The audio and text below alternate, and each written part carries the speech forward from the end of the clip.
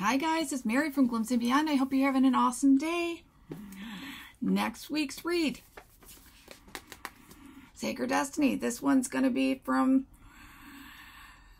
the the 12th through the 19th. Okay, here we go.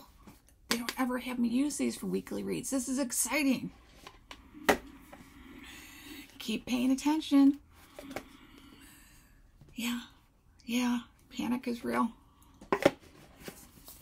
Okay, we got this. We've already won. All right, we got it. Let go, let God.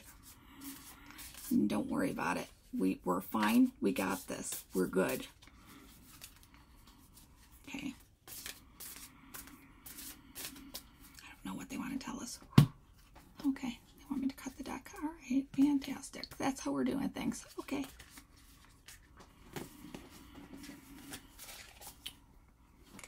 Interesting.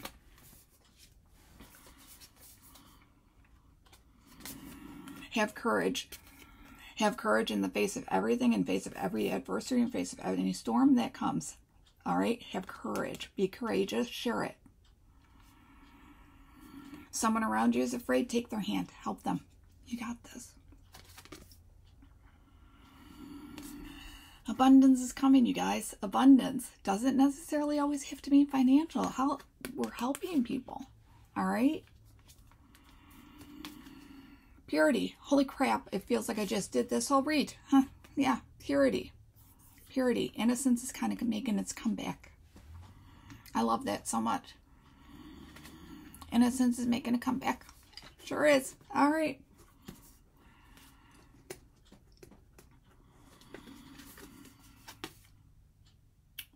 Protection. You're always protected. You're always protected. Always, always, always. Even in the middle of a storm. All right. If you have a tree and you need to ground, go out to your trees. I love when my trees talk to me. Oh, this is fantastic. Be open. Openness. Be open to everything that's going to come to light. Oh, everything. I love this so much, you guys. All right.